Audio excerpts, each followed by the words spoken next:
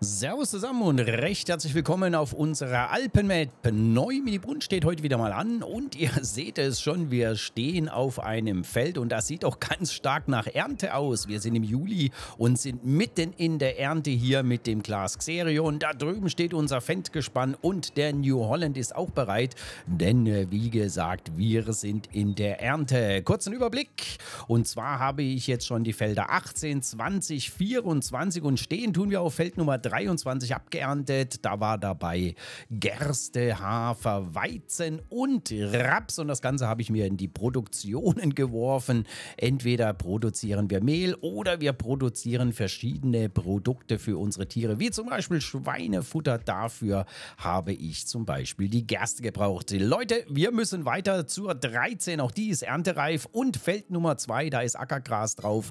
Also keine Müdigkeit vorschützen. Wir werden als allererstes mal, bevor wir hier das Stroh einsammeln für unseren kleinen Berghof, weil dort brauchen wir auf jeden Fall auch Stroh und der ist in der Nähe, werden wir uns, falsch mein Freund, hier rein Jetzt aber erstmal in den New Holland setzen, das ganze schöne Mähwerk oder Schneidwerk mal hier zusammenpacken und dann werden wir das schöne, schöne Gerätchen umsetzen auf unser Rapsfeld direkt am Hof. Und los geht's. Wir machen natürlich die Rundumkennleuchten an. So, er sortiert sich hier vorne noch mit den zwei Teilchen. Das ist natürlich nicht aus dem äh, Fahrerhaus einfach zu fahren, aber wir kriegen das auch so wunderbärchen hin. Ja, mein Urlaub ist zu Ende. Ich war zwei Wochen im Urlaub. Jetzt nach mehr als 14 Tagen wird es mal wieder Zeit, einige Folgen aufzunehmen. Und in Kürze werden wir wieder auch streamen. Natürlich wieder live und das Ganze zu neuen Sendezeiten. Ich habe euch ja abstimmen lassen und und der Donnerstag ist gesetzt. Ansonsten ist noch ein bisschen offen. Der Montag und der Dienstag. Ganz am Anfang war eigentlich ganz klar oder hat sich schnell herauskristallisiert, dass es auf den Montag gehen soll. Aber mittlerweile hat ja ein bisschen der Dienstag aufgeholt. Aber kein Problem. Ihr könnt noch abstimmen, wenn ihr wollt. Das äh, Voting ist sozusagen noch geöffnet. Und äh, morgen Abend am Donnerstag, wenn wir streamen, schauen wir mal, wie weit wir sind. Aber wir lassen das Voting noch bis Samstag 20 Uhr offen und dann steht fest, ob wir zukünftig auch am Montag oder am Dienstag streamen. Es gibt noch ein zweites Voting, da komme ich aber später dazu, wenn es nämlich um unsere Projekte geht, wo es weitergeht und wo nicht. Und es hat schon einen Grund, warum ich hier die neue Mini Brunn noch mal ein bisschen mit euch zocke hier im Video. Aber wie gesagt, da kommen wir später hin. Ansonsten gibt es viele, viele Neuigkeiten in der Zwischenzeit. Natürlich in 14 Tagen, in etwas mehr als 14 Tagen hat sich auch einiges getan beim Farming Simulator 25.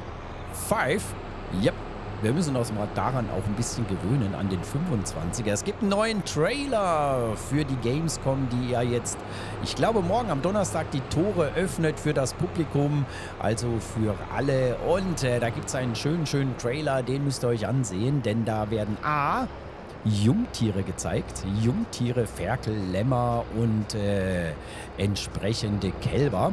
Und äh, wenn man das auch richtig sieht, dann auch in verschiedenen Wachstumsstufen. Muss man aber genau hinschauen. Aber was natürlich noch viel, viel spannender ist, ist im Prinzip ein Wunsch, den ich auch schon mal geäußert hatte hier bei meinen Top 3 für den LS25, nämlich Wetter. Es wird so etwas ähnliches geben wie, ja, ich glaube, ein Tornado war es oder auf jeden Fall Wetter, Wetterereignisse, die sich dann auch tatsächlich dann auf unsere Früchte auswirken. Soll heißen, es gibt tatsächlich Schäden dann auf dem Feld, Ertragseinbußen. Dürft ihr euch gerne mal ansehen, den Trailer von Giants aus dem Gameplay heraus wieder interessant. Natürlich sieht man dann auch einige neue Maschinchen, gar keine Frage. Und natürlich den Spinat. Auch das hier eine ganz besondere, interessante Geschichte. Denn mit dem Spinat haben wir eine Frucht, die wir zweimal im Jahr ernten können.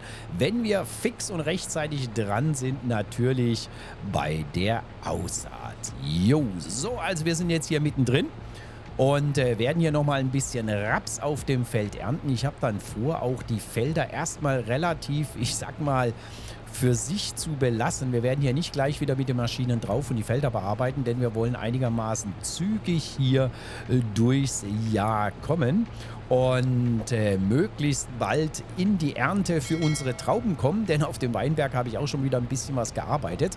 Und wir wollen, oh, hier müssen wir ein bisschen aufpassen. Hier müssen wir ein kleines bisschen aufpassen. So, Dille. Dann machen wir hier noch ein bisschen Vorgewände. Und was viel, viel spannender ist eigentlich, wir haben ja Pappelfelder und da möchte ich auf jeden Fall auch noch einsteigen diese Pappeln zu ernten in, in unser Bio-Heizkraftwerk oder Biomasse-Heizkraftwerk das Ganze dann auch letztendlich einzuwerfen. Das ist der Plan und das ganz, ganz große Ziel ist und bleibt natürlich unser Müsli hier auf Neuminibrunn. Die wunderschöne Alpenmap, die wir jetzt auch schon über 200 Stunden zocken. So, und dann nochmal hier die nächste Bahn, auch die werde ich noch selber fahren, bevor wir dann hier mit äh, dem Fendt auch umsetzen. Der soll hier natürlich abtanken. Ich muss mal die Karte reinholen. Ah, aus irgendeinem Grund, lass mich mal kurz schauen. Wir haben hier eigentlich ziemlich schlechte Erträge, 92% nur. Was habe ich denn verpennt? pH-Wert eventuell. Ja gut, dass wir nicht gewalzt haben, ist natürlich auch 1, 2%, ne? Aber 92, okay, 83, 81, ja, da ist schon ordentlich... Irgendwas habe ich hier verpennt, glaube ich, beim Düngen, so wie es aussieht. pH-Wert. Naja, also auf jeden Fall haben wir dann noch jede Menge zu tun. Äh, denn äh, wir werden natürlich dann die Felder alle rundum kalken, irgendwann mal im, im Winter und natürlich düngen. Gärreste und Gülle ist ja jede Menge da. Miste werden wir aufheben, denn wir können aus Mist mit unserer landwirtschaftlichen Produktion, äh, lass mich kurz überlegen, ich glaube Dünger herstellen, Feststoffdünger. Auf jeden Fall werden wir unsere landwirtschaftliche Produktion jetzt extrem einsetzen, um Dünger und äh, Saatgut herzustellen und verschiedene andere Dinge. Den Hafer, den habe ich ja in unsere Molkerei gebracht. Da machen wir jetzt lecker Hafermilch. Und da brauchen wir, glaube ich, noch Sonnenblumenöl dafür. Also müssen wir schauen, dass wir die Sonnenblumen, die hier auf dem Feld nebendran sind, bald, bald ernten können, um die dann auch in die Produktion zu werfen. Und ihr seht, wir haben hier jede Menge Produktionsketten. Wir werden also nicht die Materialien hier direkt verkaufen, sondern natürlich Produktionen entsprechend befeuern und das Ganze natürlich dann auch entsprechend weiterreichen in die fort weitergehenden Produktionen. So, ich glaube, jetzt können wir den Kollegen hier sich gleich selbst überlassen. Soll heißen, der Helfer darf ran. Hier haben wir ein Ackergrasfeld und in der Vergangenheit habe ich das ja jedes Mal immer neu angesehen. Totaler Quatsch, totaler Blödsinn. Also Ackergras wächst natürlich nach. Ähnlich wohl wie Spinat, ne? Kleiner Hinweis. So, Und dann hier mal kurz umsetzen und in die nächste Bahn gebracht. Leider noch nicht mit GPS. Auch das wird ja dann zukünftig kommen. GPS, wir können eigentlich mal die Rundumkennleuchten ausschalten. GPS im LS25 auch endlich für die Consolieros. Denn äh, dürft nie vergessen, wir zocken hier auf der PlayStation 5. So, ich denke, das sollte funktionieren. 36 Prozent. Wir schauen mal, da steht der Glas aber mit dem Fendt, der ja ein bisschen Getreide geladen hat. Lass mich mal kurz schauen. Da machen wir natürlich, nein, äh, da machen wir zu. So. Jo, fahren wir mal runter. Ich überlege gerade, das Getreide brauchen wir für was? Weizen Weizen, Gerste. Gerste brauchten wir auf jeden Fall für unser Schweinefutter, denn das geht jetzt auch schon ein bisschen zur Neige.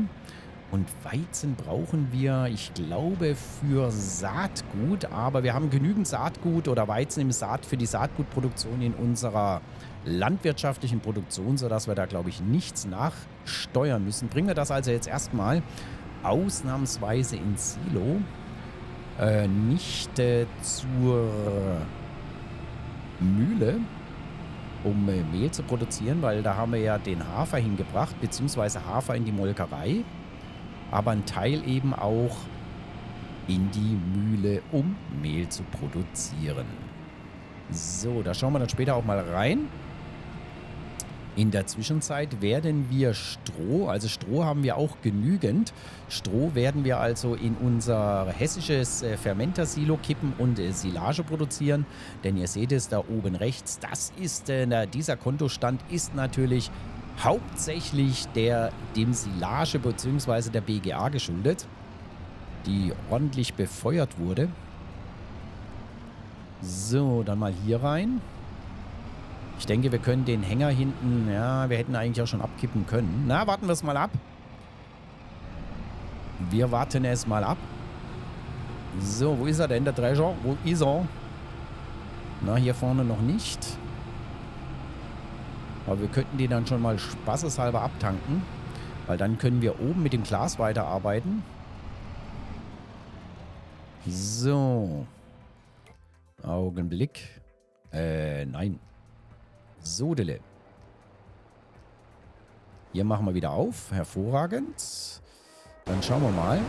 60 Prozent, okay.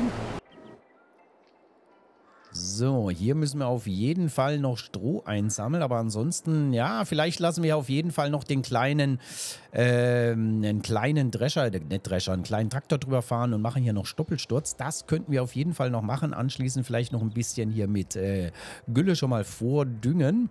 Aber wie gesagt, so viel auf den Feldern will ich jetzt diese Monate nicht tun, denn wir haben da auf jeden Fall genügend Zeit dann im Dezember, Januar. Wir müssen aber uns Gedanken machen.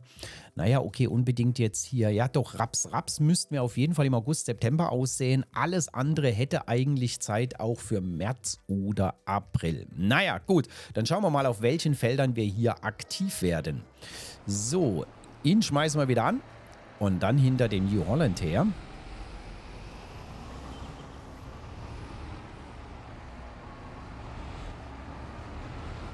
Ja, man muss mittlerweile auch ein bisschen aufpassen und überlegen, weil wir haben so viele Produktionen, müssen schauen, wo wir was brauchen. Gerade die landwirtschaftliche Produktion kann mit vielen, vielen, vielen äh, Rohstoffen umgehen und uns Material herstellen. Und so ein bisschen möchte ich auch versuchen, wie ich schon gesagt habe, zum Beispiel Herbizid, Flüssigdünger, Feststoffdünger und natürlich Saatgut möchte ich gerne ein bisschen selber herstellen. Schweinefutter natürlich auch und ähnliches. Aber wir werden natürlich auch zum Beispiel bei den Schweinen das Material auch direkt einwerfen, denn so viel kann ich gar nicht produzieren, wie die Tierchen da eigentlich uns ja wegfressen. So, ich denke, der ist soweit leer. Genau, dann können wir den hier lassen. Sehr schön. Und dann stellen wir den mal aus dem Weg. Nicht, dass der hier den Johannes beim Wenden ärgert.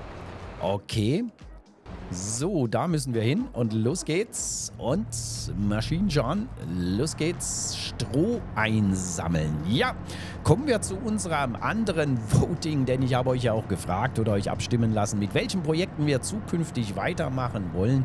Denn äh, andere Projekte stehen ja sozusagen in den Startlöchern. Noch ist die Oberschwaben nicht da, aber die ist ja bei uns schon gesetzt. Also zumindest habe ich sie noch nicht gesehen im Mod-Hub.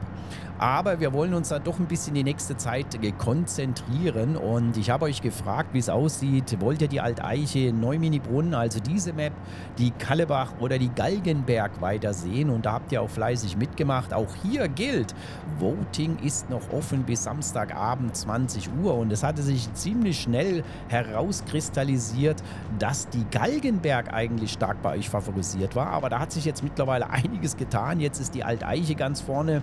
Und äh, ja, äh, was halt leider auch so ist und äh, ist, dass die Neumini Brunn leider, leider zurückgefallen ist. Naja, es ist euer Voting. Ihr entscheidet, was ihr zukünftig sehen wollt. Und die Kallebache ist im Moment an dritter Stelle. Und ich habe mir natürlich auch Gedanken gemacht, wie wir das Ganze umsetzen. Und eine Möglichkeit wäre natürlich, dass wir zukünftig mit den beiden äh, Stream-Terminen dann eine spielen wir die äh, Alteiche und eine spielen wir die Galgenberg als Big Farm Projekt, wo wir ja uns auch ein bisschen ausbauen wollen, weiter vorwärts kommen wollen. Da werden wir Felder zusammenlegen, um dann so ein kleines bisschen einen Big Farm Charakter zu bekommen. Denn äh, wir hatten ja früher die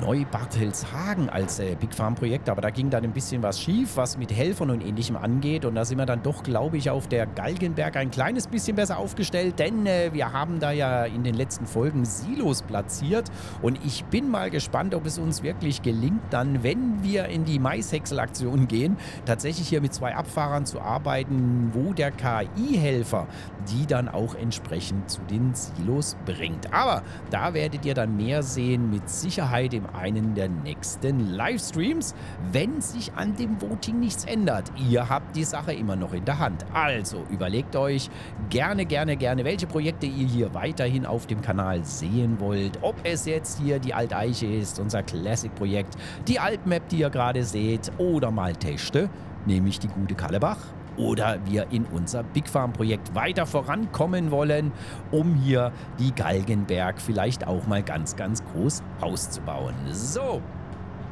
Der Xerion ist soweit. Ich überlege gerade, lass mich mal kurz schauen, bringen wir das Ganze wieder hoch oder nicht? Also, lasst mich mal schauen. Hier, Gerste ist schon durch, Hafer ist noch in der Mühle.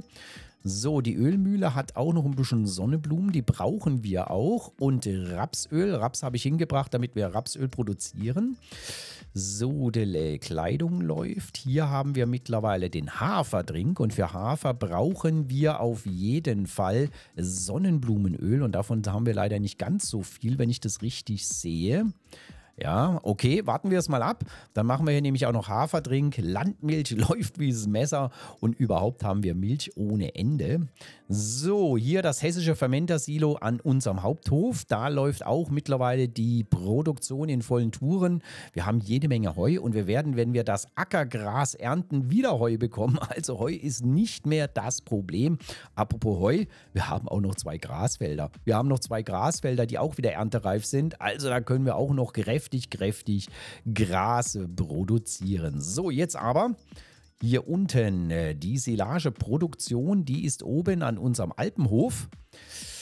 Stroh könnten wir, wir haben natürlich oben auch Strohballen, aber wir tun uns natürlich leichter. Aber im Prinzip ist es Kopfsbeck gesprungen, weil im Zweifel machen wir das Stroh einfach zu Silage. Also, dann fahren wir mal hoch zu unserem Alpenhof.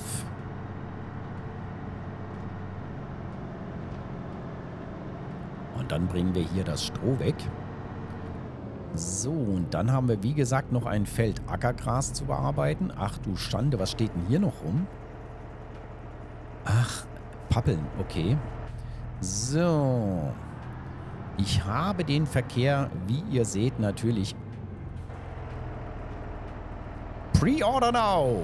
Farming Simulator 25. Okay. Sehr schön.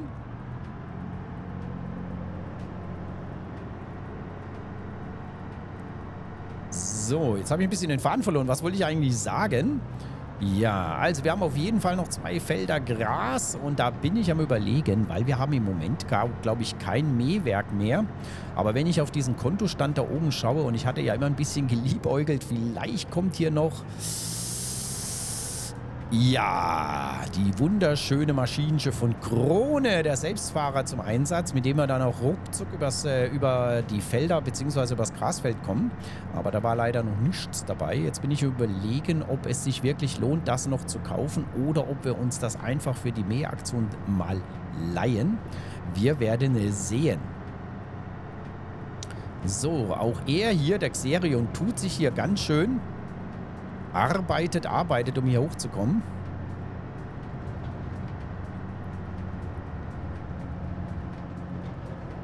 So, da sind wir doch jetzt hier an unserem kleinen Alpenhof. Dann können wir auch mal kurz nach dem Rechten sehen. Wir werden hier mit dem Kollegen rückwärts einfahren.